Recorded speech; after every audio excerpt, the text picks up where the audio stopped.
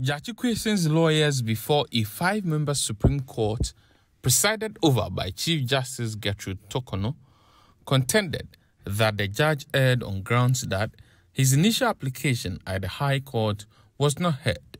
He further argued that the judge took the decision by relying on a document produced by the Attorney General, which was not deposed to by an affidavit. The said document was a reply from the Attorney General indicating that his office has no further disclosures to make. Justin Teriwajah, who represented Gyakye was of the view that the High Court ought not to have relied on this document because it was not deposed to in an affidavit. Attorney General Godfred Yeboah-Dame, however, opposed the certiorari application, describing it as incomplete. It was his view that while the application is by Gyakye Quayson, the position in support was by the lawyer without any proof of authority. This, in his view, was against the rules of court and makes the application incomplete. He also debunked claims that Gyakye Quayson's lawyers were not allowed to move the application. He made reference to excerpts of arguments at the High Court by both his deputy and lawyers of Gyakye Quayson to buttress this point.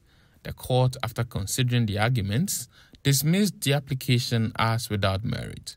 Meanwhile, the Supreme Court has raised concerns about the continuous absence of James Gyakye at the Apex Court when he files applications. At the start of proceedings, the court observed that Gyakye was absent. Chief Justice Gertrude Torkornoo then noted that she has observed a pattern where the Assin North MP files an application and does not appear on the date of hearing the application. She then questioned the lawyer, Justin Teriwajah, on the whereabouts of his client. Mr. Teriwajah, who could not provide any answer, then apologized. A member of the bench, Justice Amadu Tanko, then noted that this situation is attributed to the practice where counsel for Gyakye Quayson deposes to the affidavit in support of the application on behalf of his client. He used the opportunity to caution lawyers that this practice may land them in trouble. Lawyer of Quayson promised to advise his client accordingly.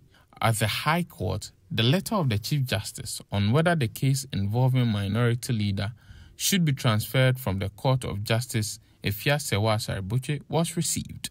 The Chief Justice in the letter refused a request by the third accused person in the trial, Richard Jakpa. The request to the Chief Justice followed an event that ensued between the trial judge and the accused person, Richard Jakpa.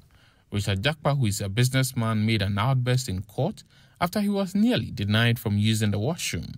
The judge, who found the outburst unacceptable, cautioned the accused and directed him not to repeat such an act, as that could lead him being held in contempt. Dissatisfied with the encounter, Mr. Jakpa applied to the Chief Justice to administratively reassign the case.